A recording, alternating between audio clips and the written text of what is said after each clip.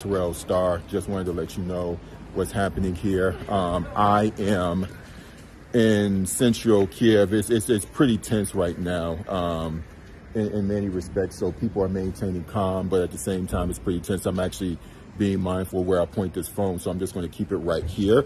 But basically, um, there are a number of oblasts in this, uh, you know, across the country that have been hit with heavy airstrikes and um, there are dozens of deaths. We don't know exactly how many at the moment. The last time I checked, it was 40.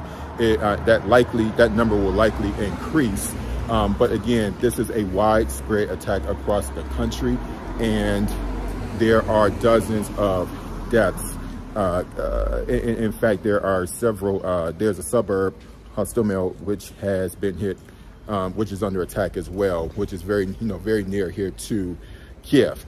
So the next thing, um, I'm, I'm fine and I'm actually figuring, um, I'm relocating around the city, but I have not seen any uh, military activity in where I'm at right now at the moment. Be Again, be mindful of where you're getting your information. If it's not a verified source that you trust and respect, um, please do not share that information. Part of Russia's attack is disinformation.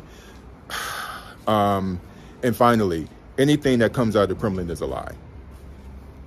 If you hear anybody that says that they're a spokesperson for the Kremlin, just know that whatever they're saying is a lie. And I know that in journalism, we like to hear both sides. I get that, but it, you have to treat these people like Trump.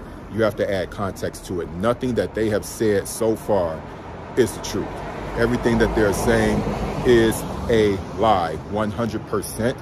Um, people are, another thing, where, where are people seeking shelter? We don't know where it's safe to be perfectly honest with you. Uh, we, we don't know where to go. So it, it, again, it's really pretty tense. It's very stressful, even for myself. Um, but everyone's doing the best they can to get you accurate information. And I'm definitely going to curate information as I find it uh, for everyone. But this is what it is. I mean, this is a war and um, we're trying